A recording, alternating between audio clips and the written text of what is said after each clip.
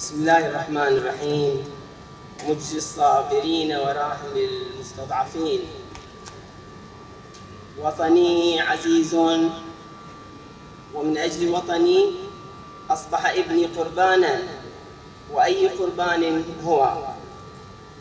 إنه فلتة كبدي من حاز بكل فخر لقب قاسم الشهداء. شهيد فارق الدنيا مظلوما شاكيا لله الظلام.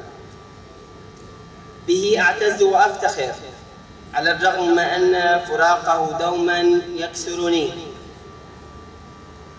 وكلما كسرني الشوق وألم الفراق أتذكر أن بدماء شهدائنا سيكون النصر واعدا. فيهون الله ما نزل بي. النظام الظالم في بلدي حرم أبنائنا من الدراسة والاجتهاد في العلم. فقد أصبحوا أبناءنا نموذجين يشكلون ظلم النظام فالبعض قتل واستشهد وترك مكانا خاليا في مدرسة مدرسته وصفه.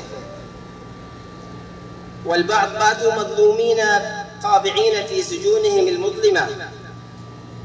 فكيف يحرم طفل من دراسته ويعتقل وهو لم يتجاوز الثامن عشر من عمره؟ ولكن قيودهم ستكسر بإرادتهم وإصرارهم على العلم وسيتحقق النصر بهم وبشهدائنا فابني الشهيد كان في كل عام من عمره ينتظر العام الدراسي الجديد بشغف وكان يجاهد من أجل العلم. قتل ابني وأصبح شهيدا وهو في المرحلة الإعدادية. كان دوما ينتظر يوم تخرجه من الإعدادية ليذهب للثانوية ولو شاء الله له أن يكون بيننا في هذه الدنيا لكان هذا عام تخرجه من المرحلة الثانوية. ولكن شاء الله له بأن يكون من الأحرار الذين سيخلدهم التاريخ. وبات شهيدا وشاهدا على ظلم النظام.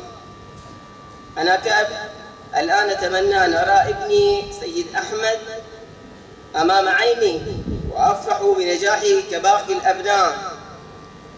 ولكنه اختار النجاح بالشهادة الكبرى والفوز بالسعادة الأبدية والاستشهاد في سبيل الله والوطن.